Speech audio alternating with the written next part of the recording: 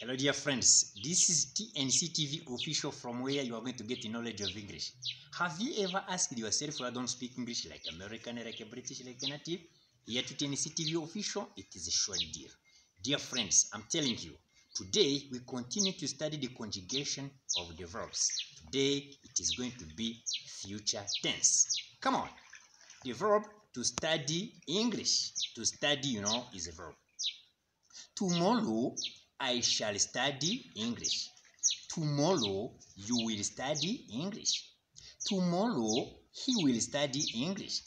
Tomorrow she will study English.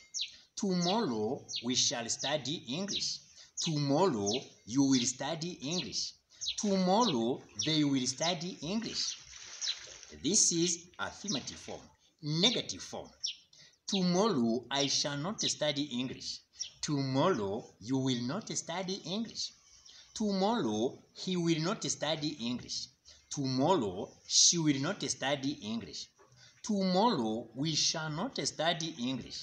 Tomorrow you will not study English. Tomorrow they will not study English. This is negative form. After negative form, you have to recognize interrogative form. Come on.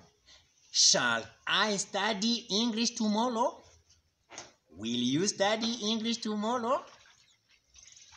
Will he study English tomorrow? Will she study English tomorrow? Shall we study English tomorrow? Will you study English tomorrow?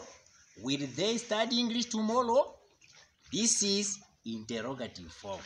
After interrogative form, you are going to recognize, you are going to study, you are going to know question tag. Come on. Question tag is going to be used commonly. Here, you are going to start by like this. Tomorrow, I shall study English. Shan't I? Tomorrow, you will study English. Won't you? Tomorrow, he will study English. Won't he? Tomorrow, she will study English. Won't she? Tomorrow, we shall study English. Shan't we? Tomorrow, you will study English. Won't you? Tomorrow, they will study English. Won't they? You see, this is question tag. I told you that question tag is short question. Sometimes when you are speaking English, there is short questions.